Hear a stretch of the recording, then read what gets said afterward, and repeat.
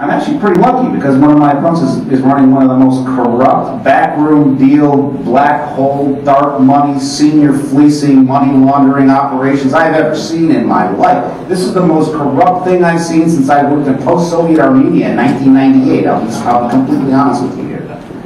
Right now, Armond Budish isn't even here. That should tell you.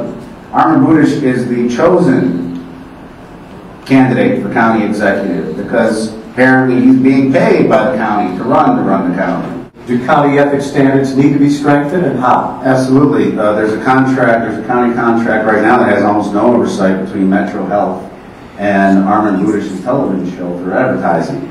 Uh, I don't know how much money Metro Health spends on Armond Budish's television show for advertising. Uh, none of us do.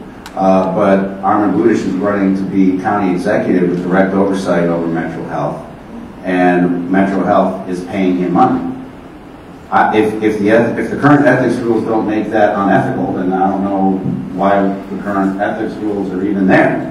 Um, I would change the ethics rules uh, exactly in that way. I would take, you know, if you're if you're in a county uh, county administrative body, we want to know where your money's going, all of it especially if it's going to city elected officials who have direct jurisdiction over your business.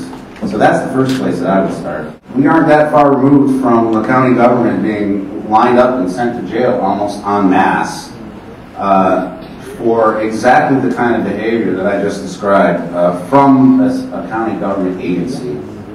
Um, when are we going to wake up to this? Yeah, I'm, I'm asking everybody here, because we're all Democrats, and, and we've been running this county, we've been running this show for a while. Uh, I thought the last round of this would wake us up to it. I'm not sure if this one uh, is evidence of that.